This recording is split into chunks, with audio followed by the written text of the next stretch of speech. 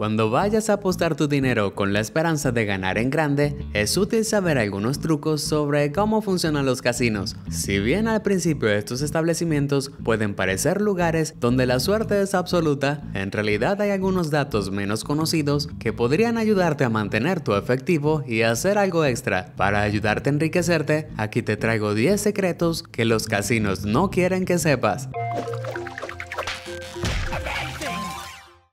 Número 10. Los casinos se esfuerzan en mantenerte en las instalaciones. Esto debería tener mucho sentido, ya que el objetivo de un casino es ganar dinero, y cuanto más tiempo estés allí, más dinero podrás ganar. El mantener a los jugadores gastando se logra a través de un gran número de formas, incluyendo a menudo no tener ventanas o relojes en el edificio, en un intento de que los que asisten pierdan la noción del tiempo y permanezcan más tiempo de lo que podrían haber deseado. Los casinos no solo quieren que olvides qué hora es, ya que tácticas como las luces brillantes y las mujeres atractivas también se usan para mantenerte interesado en las seductoras imágenes, que se encuentran más comúnmente en lugares llamados party pits. Estos lugares encienden la música para que te sientas más emocionado e involucrado, pero la verdad es que estas celebraciones son en realidad mucho más propensas a cargarte con pequeños montos extra, por lo que estas salvajes áreas son menos divertidas de lo que te podrían hacer creer. Además de todo,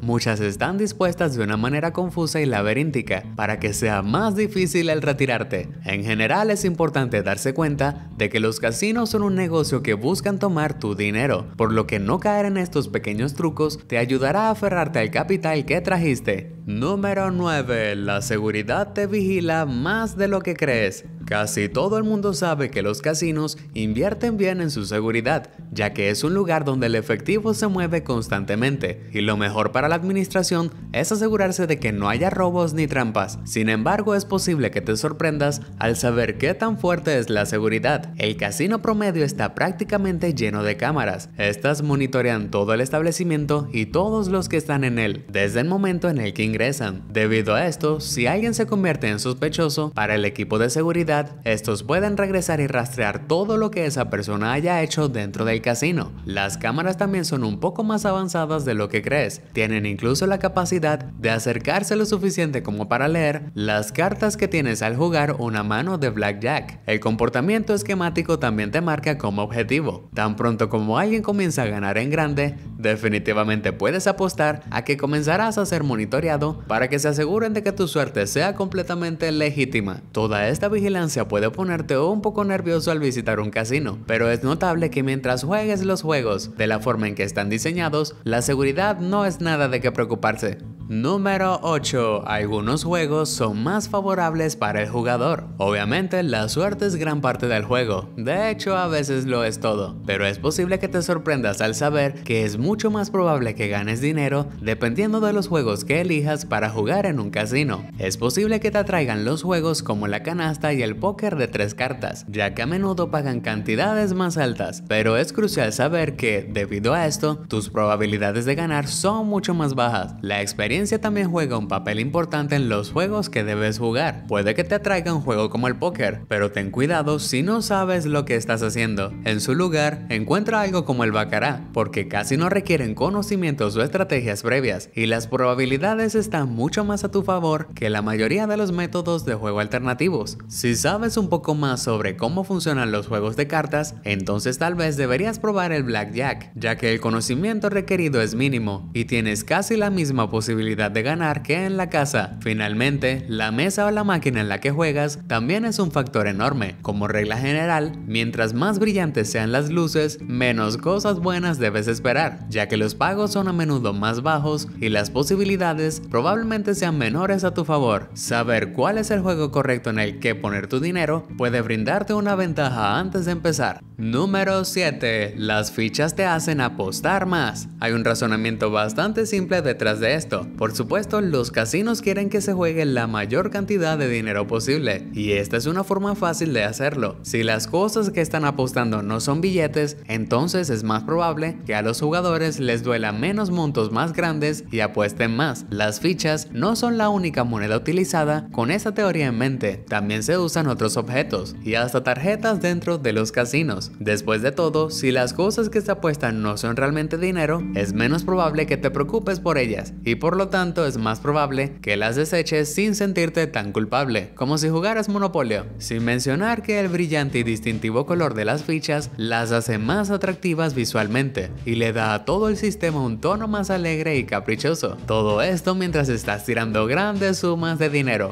Si deseas luchar conscientemente contra este impulso, intenta contar tus fichas para tener una idea más concreta de cuánto estás gastando realmente durante tu estadía en el casino. Número 6. La verdad sobre los crupieres. Ser un croupier en el casino tiene sus cosas buenas o malas, ya que, por un lado, el croupier gana experiencia sobre los juegos y las estrategias. Sin embargo, por otro lado, a menudo pueden ser tratados de manera deficiente e incluso como si fueran personas de por sí poco confiables. El trabajo de croupier no es solo llevar el juego y la mesa con facilidad y eficiencia, sino también asegurarse de que los jugadores se involucren con el juego más y más debido Debido a esto, el o la croupier pueden parecer que actúan de manera excesivamente amistosa y hasta hipócrita para los jugadores. Sin embargo, la realidad es otra ya que la mayoría de ellos se sienten como jugadores y desean poder ganar dinero. Además de esto, otro motivador para ser amable y amigable es el hecho de que los crupieres en su mayoría llegan a fin de mes gracias a las propinas. Al igual que los camareros y camareras, su cheque refleja su calidad del servicio al cliente. También este trabajo tiene su lado oscuro. Con la tentación del dinero y las fichas pasando por sus manos, es común que los agarren robando o redirigiendo fondos a su bolsillo, y esto los hace objetivos de vigilancia constante. Número 5. La higiene puede ser una preocupación. Las fichas de póker son manejadas por innumerables personas durante periodos de tiempo indeterminados. No es difícil para estas el entrar en contacto con muchos gérmenes y bacterias. Todo lo que se necesita es que una sola persona use el baño y no se lave las manos antes de tocar las fichas para que la higiene de las mismas se vuelva cuestionable. Sin mencionar a todos aquellos que ingresan a un establecimiento de juego con enfermedades y muchas personas en un espacio tan reducido facilitan la transmisión de su enfermedad. Además, es demasiado común que los jugadores estén demasiado concentrados en sus juegos como para realizar todas las paradas necesarias al baño.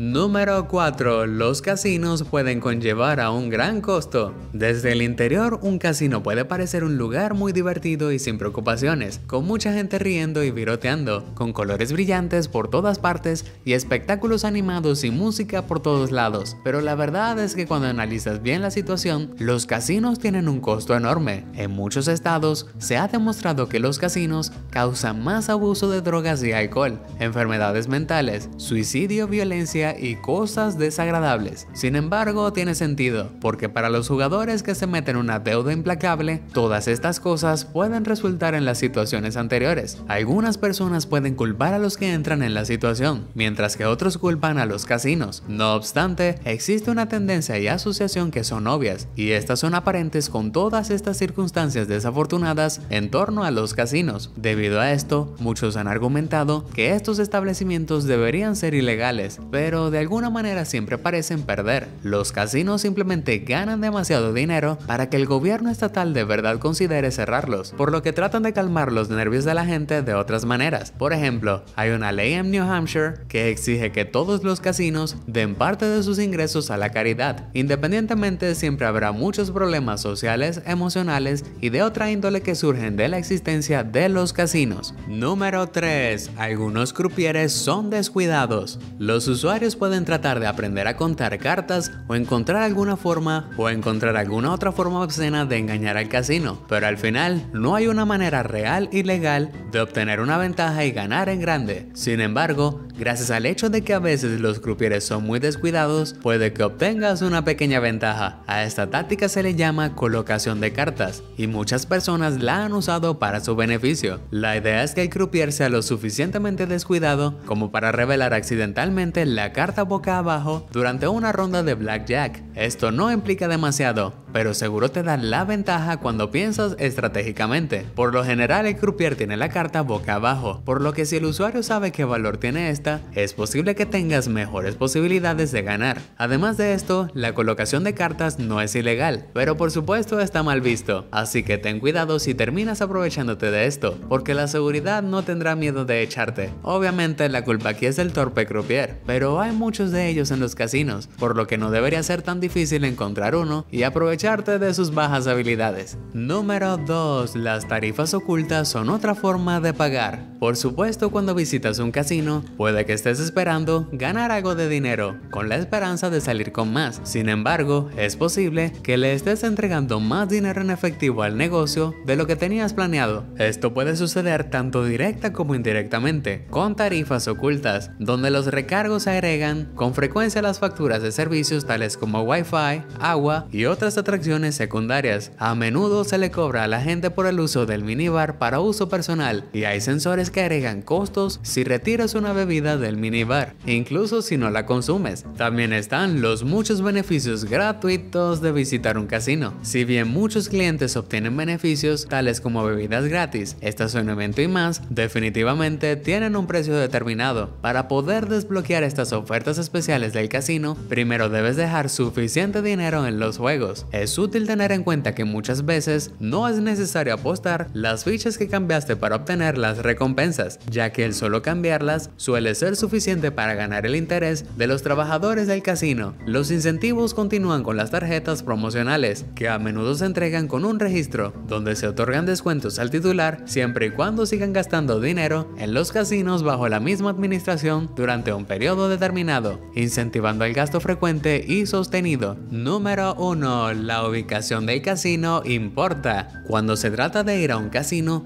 todos pueden parecer iguales, pero la verdad es que cada uno varía mucho y dependiendo del tipo de jugador que seas, esto podría ayudarte. Los casinos locales y los casinos con striptease difieren en sus límites de apuestas. Por lo general, hay un parámetro en el que un jugador puede apostar, teniendo una cantidad máxima y mínima. Comúnmente, en los casinos locales, esta ventana es mucho menor que en los casinos de gran tamaño. Debido a esto, los jugadores que optan por jugar para aprender más sobre entresijos del juego pueden optar por ir a los casinos locales, mientras que los grandes apostadores puedan optar por los de renombre. Además de esto, los casinos locales probablemente tendrán las tiendas y restaurantes menos costosos, por lo que será un lugar mejor si estás buscando ahorrar dinero extra. Si bien algunas personas prefieren una sobre la otra, cada una tiene sus pros y contras, por lo que es mejor acudir a la que te resulte más cómodo. ¿Ya conocías alguno de estos secretos? ¿Tienes más secretos del juego que la gente debería